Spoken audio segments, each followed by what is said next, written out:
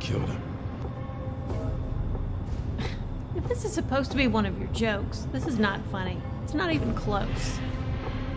Karen, will you just shut up and listen? I killed him. It was an accident.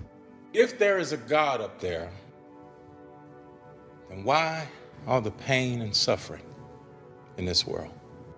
You see, the Bible tells us in Psalms 115, 16 that God has given us the earth to man. And he's given us free will to love him. It's it's not that easy. Chase, I had to start all over.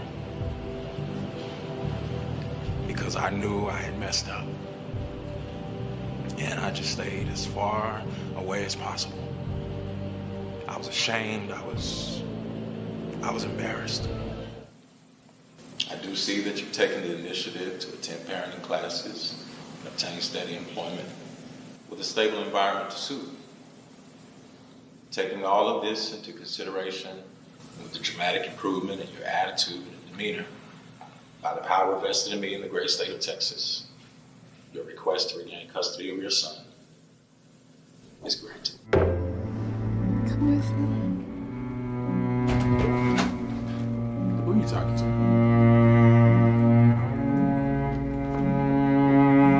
You. You knew about the hidden key.